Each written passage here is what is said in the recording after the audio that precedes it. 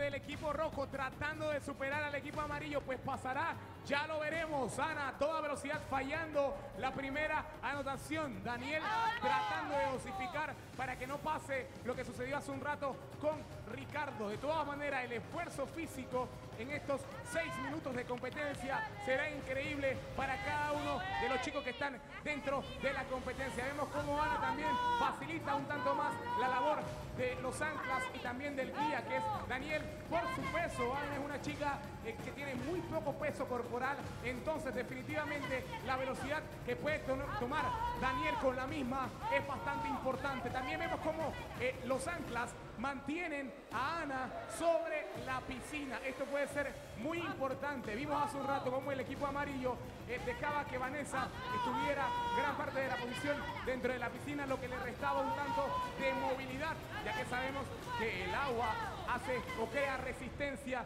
en el cuerpo de la persona que está en el arnés. Sigue la competencia a toda velocidad, señores. El equipo rojo ya suma ocho anotaciones en este momento. Continúa a toda velocidad el equipo rojo tratando de ganar esta competencia. Será importante ver qué sucede y si Daniel también tiene la resistencia suficiente para aguantar este tremendo trayecto que son estos seis minutos dentro de la pesca extrema. Continúa entonces y ya el equipo rojo eh, tiene 10 de estas anotaciones importantes, Marco.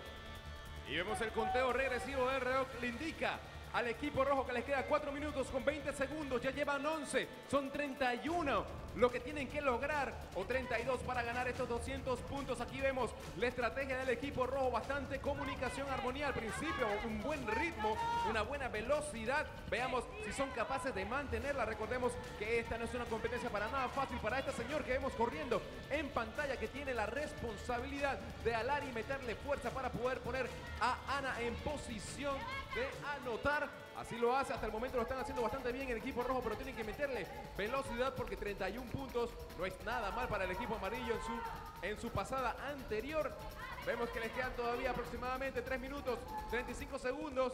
Y tienen buena comunicación hasta el momento, bastante aire parece, pocos errores y vemos a la pequeña gigante que está haciendo lo que le corresponde y el esfuerzo del capitán, también de Kevin, tratando de mantener la altura adecuada y el trabajo en equipo para lograr estos 200 puntos de competencia. Recordemos que ningún equipo se quiere dar el lujo de perder en la tarde de hoy porque si no tendrán que poner en riesgo a una de sus competidoras. Ya la competencia está suficientemente difícil entre Vanessa y la gata Sara del equipo amarillo y ya veremos qué competidora tendrá que vérselas contra ellas mañana en el viernes de eliminación.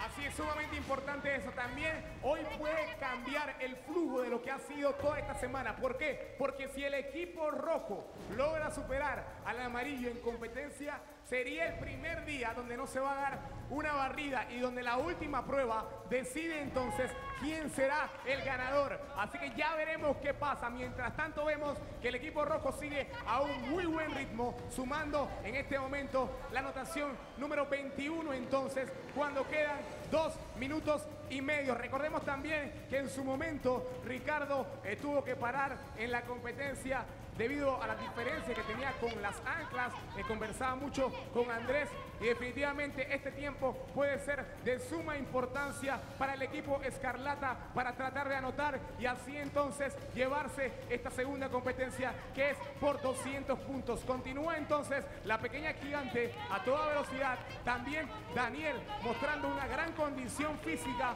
moviéndose de un lugar a otro para tratar de colocar a Ana en posición de cilindros. Es importante también saber que tienen que alternar anotaciones en el cilindro amarillo y luego en el cilindro rojo. También me parece que la técnica que utilizan cada uno de los anclas es importantísima. Mantener a Ana lo más suspendida posible de la piscina. El agua crea una resistencia importante que el que la siente es el timón, que en este caso es Daniel. Quizás por eso entonces Daniel se nota mucho más rápido que Ricardo porque evita esa resistencia importante. El equipo rojo está por empatar en este momento. Muy bien, cuando queda básicamente un minuto con 15. Y si anotan, solamente tendrán que anotar en una sola ocasión más y ganarán la competencia. Cuando vamos a entrar ya pronto al último minuto, eso va a pasar en este momento cuando Ana logra la anotación y antes de llegar al último minuto, el equipo rojo gana la competencia entonces sumando 200 puntos que determinan que la última competencia decidirá todo. Así que vamos a conversar con el equipo rojo en este momento. Vamos a hablar con la técnica de las anclas. Quiero conversar con Kevin porque quiero saber si esto fue planeado porque definitivamente levantar a Ana y mantenerla arriba del el agua fue una técnica muy importante.